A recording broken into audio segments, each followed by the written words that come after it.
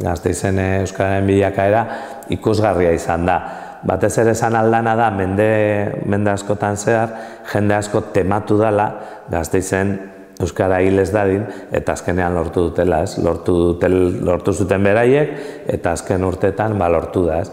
Pertsonaia asko egon dira Euskararen alde lan egiten. Batzuk erdaratik, eta ez batzuk Euskaratik. Duela hogei urteko gazteiz eta oraingo gazteiz asko aldatu da. Eta, eta uste dut, e, Euskararen kontrako jarrera, gaur egun oso oso oso txikia dela, eta hori oso garrantzitsua da, eta jende erdaldu asko dagoera euskeraren aldeko jarrera duena. Bai, eta bat urte etorri nintzela ona, bigarren goz. Eta, bueno, ba, nik uste euskaraia, euskara baukan bere presentzie, eta esan, ba, herri arroz baten e, egoti alez, igual sasoi baten e, euskaldun batetat izan alzan moduen, ezta? ja nahiko barreiatuta eguan Euskara, ikastolak, Euskara entzuten zan. Baina argi dago nire txikitako gazteizura eta olaingoa ikusita Euskara ez daukala zer ikusirik, hau da, entzuten dozu, e, kalean entzuten dozu eta ez zaizu arraro egiten, eta bueno, ez dauka zer ikusirik. Mo, gaur egun guztiz ez berdina da gazteizen, e, jende asko hitz egiten du, ez dakit, baina jende asko, ez e, e, ikusten baduzu e, gazteizko populazioa eta porcentajeak eta pues, hemen daude milaka euskaldun. Ez, eta esango nuke, bai gazteizen eta araban, segurazki izango dela bilakaera esanguratsuena ezautu duena. Mm, oza, izugarria da, berroi urtetan, e, ze pausu eman denez. Non geunden, eske beti e, goratu gara duzu, abia, abia, abia puntua zintzen, nondik eh, hasi eta orain non zauden. Orduan izugarria da, gaur egun, e, lau erabarretatik e, bi kulertzen dute txura bere euskeraz, eta bat euskalduna da, elebiduna da, e. Hogei urtetan eguneko hogei egin du gora ezagutzak eta ia er, er, iriaren erdia ulertzeko gai da. Hori izugarria da, oso denbora gutxian. Nik esango nuke bai eh, percepzio dudala geroteak gehiago egiten dela euskaraz. Eh? Percepzio hori dakat. Edo behintzat gerota arazo gutxiago dakatela nik, ba, ba euskaraz egiteko. Hori bai. Eh? Eta gainera kalian batzutan belarria jarritan entzun egiten da. Eh?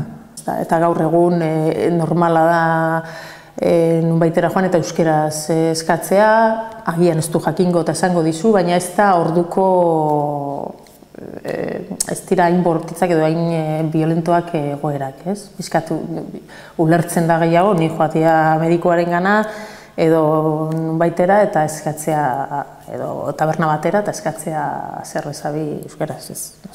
Gaur egun, e, parkeetan ikusten dituzu gurasoak semalabekin euskaraz, e, jendea entzuten duzu euskaraz, txikitan ez dintzen konturatzen agian egiten zen edo ez, niretzako zen, bueno, ba, egiten dut orain, eta gero orain ez, eta ez dakit, buelta gehiagirik eman gabe, ez? Baina orain bai, ikusten dut, ba, jendea ari dela, somatzen dut kezka bat dagoela, eta jendeak nahi duela euskara transmititu, eta adibidez gurasoen artean, ba, nera dineko jendea ari da izaten orain nama eta aita, ez? Eta jende hori euskalduna da, edo elebiduna, edo Orduan, uste dut alde horretatik asko egin dugu aurrera eta ba hor ikusiko dela garapen bat, orain ikusten ari gara eta ikusiko dugula hemendik aurrera ere. Ez dut esango e, hizkuntza normalizatua denik, ez da horrik e, eman ere ez da, baina e, badu e, aitortza bat, e, badu leku jakin batzuk, eta batez ere, eta niretzat e, itxarropentsua dena, e, gazten artean e, badu oinarri e, sendo eta mm, tamaina e, majo batekoa ez da, eta e, bueno, horrek e, bermatzen du etorkizuna ere ez da.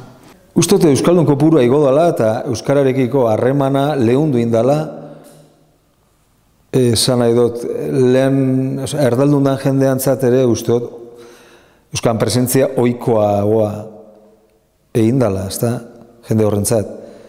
Arrostasun sentimendu hori gutxitu egin dala. Arrostasun sentimendu hori diluitu inbiarko da egune baten, ez da.